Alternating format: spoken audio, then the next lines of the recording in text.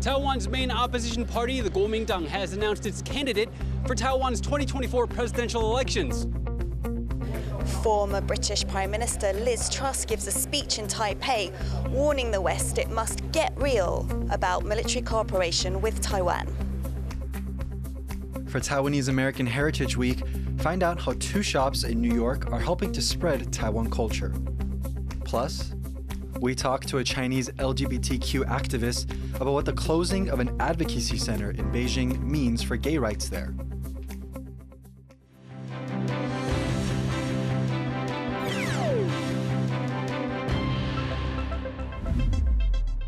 A warm welcome to Taiwan Plus News. I'm Jaime Ocon. Voters in Taiwan will head to the polls next January to elect a new president.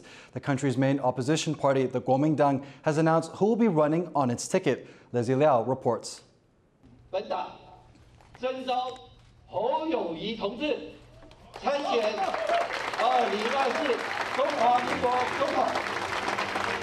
After months of speculation and campaigning, Taiwan's main opposition party, the Kuomintang, or KMT, announced it's nominating Hou Yu-ih to run for president in Taiwan's upcoming 2024 elections.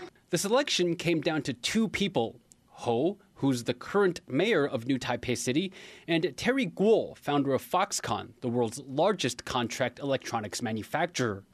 This isn't the first time Guo has sought the KMT's nomination.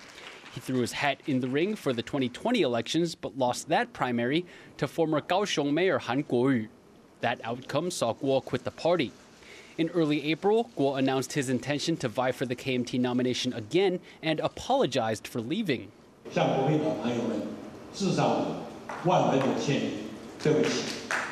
This time around, Guo's taking the news better. He's already committed to supporting Hou's presidential bid. Hou is a former policeman who was involved in many high profile cases. And he's been new Taipei mayor since 2018, enjoying high approval ratings.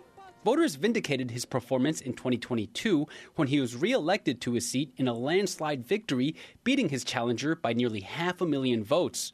Hou says he will rise to the occasion. 我们的国家在国际形势边凶战危，国内冲突对立百废待举，让年轻人看不到未来。我们必须大破大立，再次让政党轮替。Hou faces a tough battle. He's going up against Vice President Lai Ching-te from the ruling Democratic Progressive Party, another highly popular political figure in Taiwan. They're set to face off with former Taipei City Mayor and Taiwan People's Party Chair Ko Wen-je. Hou has yet to speak in detail about many of his policy ideas, including how to handle China. The KMT favors closer ties with Beijing, which has proven a problem at the ballot box as Taiwanese identify less and less with China. Now that the KMT has selected its candidate, the scene is set for 2024. The party is now faced with convincing Taiwanese voters that Hou Yu-ih is the person they want as their next president. Eason Sun and Leslie Liao for Taiwan Plus. Former Taipei Mayor Ko Wen-je has been nominated by his Taiwan People's Party to run for president next year. Ko founded the party in 2019. Ko said Wednesday he would lay out his platform in New Taipei over the weekend. He said the plans center on harmony, reconciliation, and peace. The TPP nomination makes next year's election a three way race. His opponent from the KMT will be New Taipei Mayor Hou Yu-ih, who was also nominated on Wednesday. They'll run against the ruling Democratic Progressive Party's nominee, Vice President Lai Ching-te. On Tuesday, Vice President Lai said there's no need for Taiwan to declare formal independence as it is already a sovereign state. 已经是一个主权独立的国家，不必另行 Lai made the comments at National Chengchi University in Taipei. President Tsai Ing-wen has made similar remarks in the past. Lai also criticized the main opposition Kuomintang for holding on to the 1992 consensus, which acknowledges Taiwan as part of one China. He said this was following an old framework, ignoring the facts and submitting to China. Former British Prime Minister Liz Truss has called herself an ally of Taiwan. She's on a five day trip to the country, which is under increasing pressure from China. On Wednesday, she called on the West to get real about military cooperation to avoid a conflict. Louise Watt reports. A former British Prime Minister in Taipei with a message for the West. The world needs to do more to support democratic Taiwan, increasingly the target of threats from China, which claims sovereignty over the island nation. But fundamentally, we need a more coordinated approach, in particular to make sure that Taiwan has the defence it needs and is able to defend itself. We cannot pretend that we have meaningful deterrence without hard power. And if we're serious about preventing conflict in the South China Sea, we need to get real about military and defence cooperation. On the first full day of her visit, Liz Truss told Taiwanese officials and foreign diplomats that countries must stop appeasing China because they want access to its economy and instead support Taiwan because it's on the front line of the global battle for freedom. I believe that this is the most consequential place in the world for what is the most consequential struggle of our time. Truss said countries should reduce economic dependence on China. And she called for Britain to support Taiwan's application and oppose China's to a trans Pacific trade bloc, which the UK is joining. Since Liz Truss stepped down as Prime Minister in October, she has advocated a tough stance on China, warning of its rising military power. Truss is the latest in a long line of politicians to come to Taiwan to show support as China has increasingly displayed its military strength. But as Britain's shortest serving Prime Minister, what exactly can Taiwan get out of her visit? Observers say not much. Uh, there's nothing substantive that can come out of this. It's true that Truss is a former prime minister, but Taiwan will have no concrete outcome out of this. I think particularly Taiwan hopes to have its foot in the door for higher profile visits from active politicians, people that are still active in political life through this. Uh, but at the same time, this does not always reflect well in Taiwan. Uh, Taiwan has become a place, for example, where politicians, particularly right wing ones, clinging to political relevance, will come to put themselves in the spotlight. Truss says she came to Taiwan because she was invited by the government. Foreign Minister Joseph Wu tweeted ahead of Truss's arrival as authoritarian China continues to threaten democratic Taiwan. We need democracies around the world to stand with us. Liz Truss's visit reassures our people that we're not alone. We're ready to welcome her powerful words and vital show of support but Beijing sees her trip as a nuisance, an interference in its internal affairs. In a statement, the Chinese embassy in London called Truss's visit to Taiwan a dangerous political show which will do nothing but harm to the UK. Truss's trip is also causing consternation within the British government as London tries to improve relations with China. Britain's Foreign Secretary said last month that isolating China would not be in Britain's national interests, and he's expected to visit Beijing later this year. Whatever her image back home, Truss and her message of solidarity is welcome here, as Taipei pushes to rally wider international support in the face of more and more pressure from China. Ricky and Louise Watt for Taiwan Plus The international community's response to Russia's invasion of Ukraine serves as a deterrent from a possible Chinese invasion of Taiwan. That's according to Taiwan's head of the legislature. Take a listen. 乌克兰啊，俄罗斯入侵乌克兰就带给民主国际、国际的民主国家有很多的反省，所以大家很力挺乌克兰。那啊，也因为这样，让习近习近平看了以后，觉得啊。 乌克兰都那么困难了，那这个民主国际都那么的合作，那我如果轻举妄动的话，可能会变成普京帝哦，让他不敢轻举妄动，他是对台湾是有帮助的。You Si-kun was speaking at an event on Tuesday hosted by the Hudson Institute, a conservative think tank based in Washington, D.C. He touched on how Taiwan can learn lessons from Ukraine's defense of a Russian invasion. He also spoke about the importance of working with like minded countries to safeguard democracy. This week is Taiwanese American Heritage Week, which celebrates the Taiwanese diaspora. We look at how Taiwan is making inroads overseas through its food.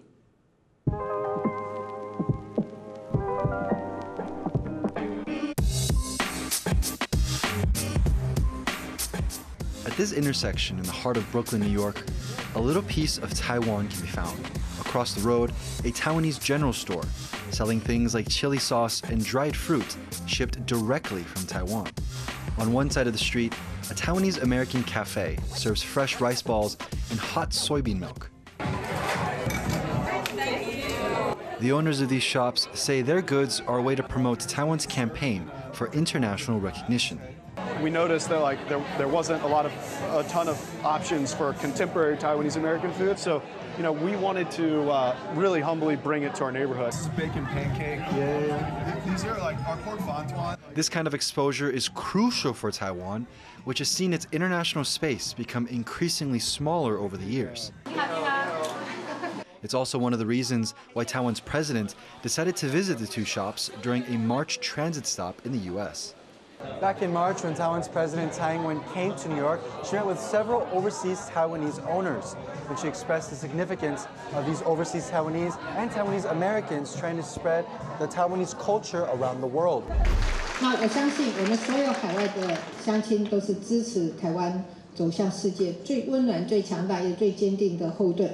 And while this eatery's Taiwanese cuisine is served with an American twist, the store next door offers visitors a chance to experience the real deal. Its design is modeled after a traditional gamadiam, which means general store in Taiwanese Hokkien.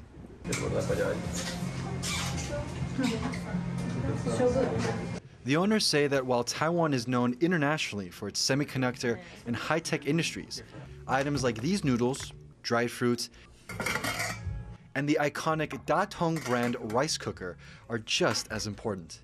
You know, we make semiconductor, we make chips, we make great bicycles that are everywhere, but no one has really tried to market Taiwan explicitly through these items. And I think food also hasn't really been a focal area yet either. And so now, you know, there's kind of a wave of Taiwanese food and Asian American food, and so we can really kind of uh, ride that wave and share more Taiwanese food with people just use it to make sure that the bottles don't break. This food wave is just one of the ways that Taiwan is looking to spread its reputation. Often, the threat to Taiwan from China and the country's cutting edge semiconductor industry overshadow its other aspects.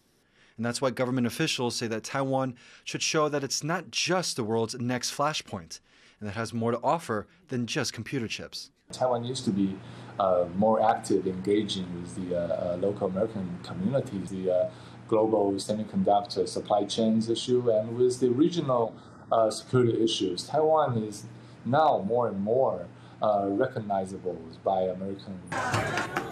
While many people might already know about Taiwan through cultural exports like bubble tea, the two shops in Brooklyn are hoping to expand the world's palate for Taiwan, one sauce or dish at a time. Jeremy Lin and his Kaohsiung Steelers team's season has come to a close, missing the playoffs by one game. Lin says he will use the offseason to think about his future. Bing Wong has more. Oh yeah, oh yeah! Put your hands together! The crowd erupts in cheers after seeing basketball star Jeremy Lin take the stage. The season has just ended for the former National Basketball Association player and his current team, the Kaohsiung Steelers. Now Lin has a difficult decision to make about his future. Even his parents are weighing in. 就都问了我，你可不可以退休？所以我也是，呃，当然他们也是父母看到我这样子也会呃很很伤心。Lin said playing in Taiwan felt like doing overtime, so he's excited to go on vacation. The Taiwanese American star burst onto the basketball scene in 2012 after his standout performances with the New York Knicks.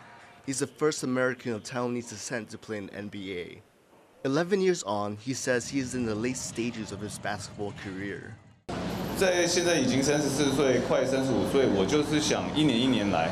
那我也不想把这件事做得太大。我的我的意思只是说，我要回去真正的沉淀一下，然后然后想。 Jeremy Lin has etched himself into basketball history. A whole generation of Taiwanese and Asian basketball players look up to him. And while his future is uncertain, one thing is for sure.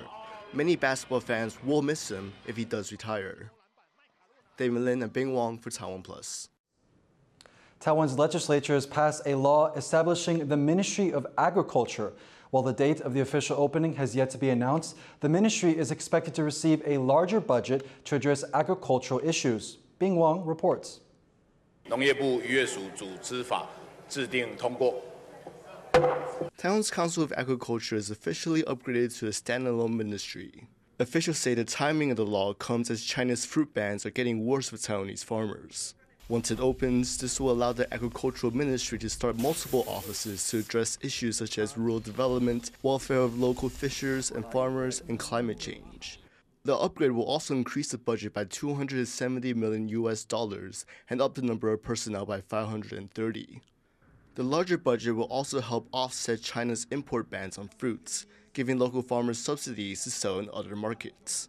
The introduction of the new ministry has won praise from many sectors. Also, they will have a new research institute focus, specific focus on the biodiversity. That will be kind of like will be uh, have some benefit for us to tackle the uh, the uh, potential climate climate change impact.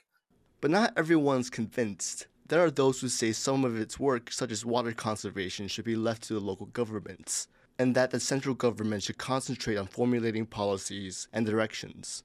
完全就是变成一个人事大膨胀嘛，增加更多的高官啊，增加这更多的这个补贴，我觉得这个是错误的方向。你补贴过度，让那有竞争的农业的空间缩小。There isn't an official date for the opening of the new ministry yet, but many are hoping for its success in achieving its laid out goals. James Lin and Bing Wong for Taiwan Plus. Coming up, why are these people in southern Taiwan dashing into the water? Find out after the break.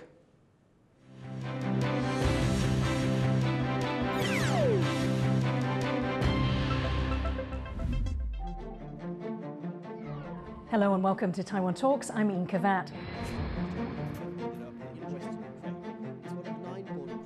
This very aggressive form of cultural revolution like politics in China seems to be moving forward in this modern era this grave injustice is happening. I think Xi Jinping will not give up his ambition. We need that kind of mindset to prepare for the warfare. What implications does this have on Taiwan and the region as a whole? Just like Ukraine right now, you need people to understand we're doing this for our own country. Reaffirmed our support for the Taiwanese ability to make their own decisions about their own future.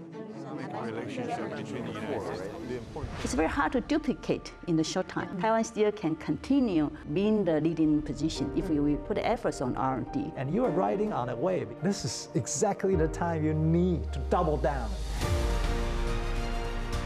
I did not realize I am actually running to be the first Asian woman in the state senate. Our next generation, they can see Asian American is as equal and have the same platform.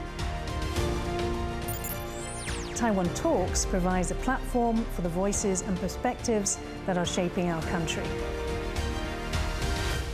Taiwan Talks, Monday to Thursday, 9 p.m. on Taiwan Plus. Thank you for watching Taiwan Plus. For more stories from here in Taiwan and around the world, download the Taiwan Plus app.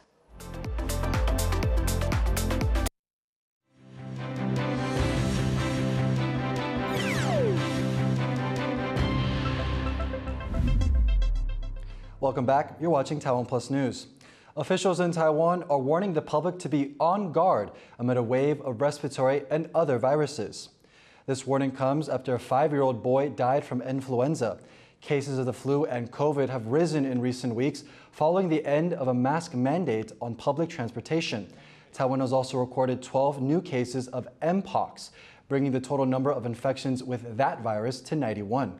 Health officials warn that the wave could continue until the end of June. South Korea is now Taiwan's largest source of tourism, according to a new government figure. Before the COVID 19 pandemic, the number of Korean visitors to Taiwan each year was only around half the number of tourists from Japan. Tourist numbers are still only about a third of pre pandemic levels. But the number of Korean tourists is now close to half what it was before the pandemic. Taiwan lifted its COVID travel restrictions last October. Around 1 million people visited the country in the first quarter of this year. The Taiwan Tourism Bureau hopes to attract 6 million visitors by the end of 2023. The Beijing LGBT Center, a nonprofit group serving the Chinese capital LGBTQ community, has closed after 15 years.